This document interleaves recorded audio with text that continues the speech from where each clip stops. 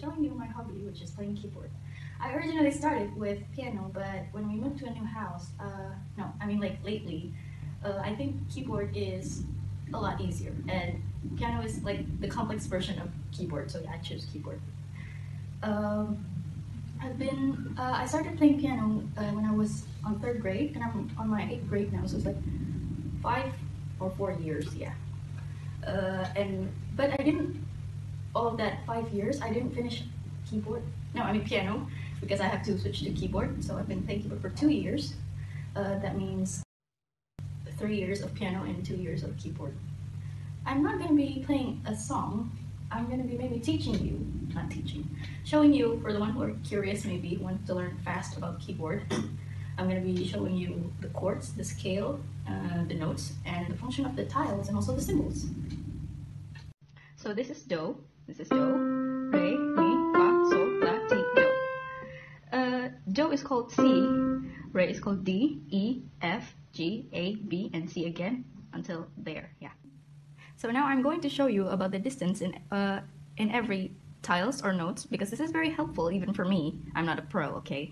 Uh, the distance between C and D is 1. Just refer, consider, is, consider the distance between C and D is 1. D and E is also 1. C and this, this tile, this note, is a half. This is called neither, either, I mean, either C sharp or D flat. I'm going to uh, explain to you about the symbols, which is later, after I explain this. The distance between C and C sharp is a half. C sharp and D is also a half. D and D sharp is also a half. D sharp and E is also a half. But E and F, E F, uh, has also a half because there's no black tiles separating them. So one, so this is one, this is one, one and a half. F and F sharp has a half. Okay, may, uh, maybe you already know this. This is one, one, one and a half. Between B and C is also a half, same like this because there's no black tile separating them.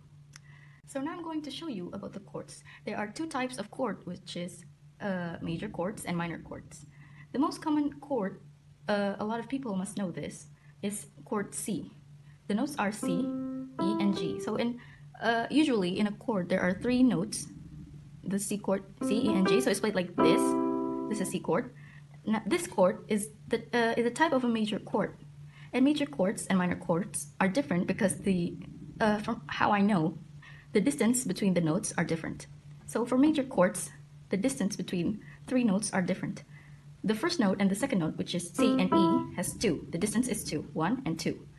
And the second note and the third note, E and G, has one and a half. This is a half and there's a one. So for major chords, all chords must be distance two and one and a half. That's a major chord pattern. Other major chords that I know is, and usually common, is chord G, which is G, B, and D. It's played like this. This is also two, one, two, and then G and B is has two distance. The, the, the distance between. And before this video ends, I'm going to show you a song. I'm going to play a song uh, that includes a lot of chords that we have that I've showed you before. This the song is called Gymnopedie Number One. I'm gonna use this uh, the sound of harp, not piano, because I think it's prettier when I use the sound of harp than piano. So I'm gonna start now. One, two, three. I'm sorry if it's not good though.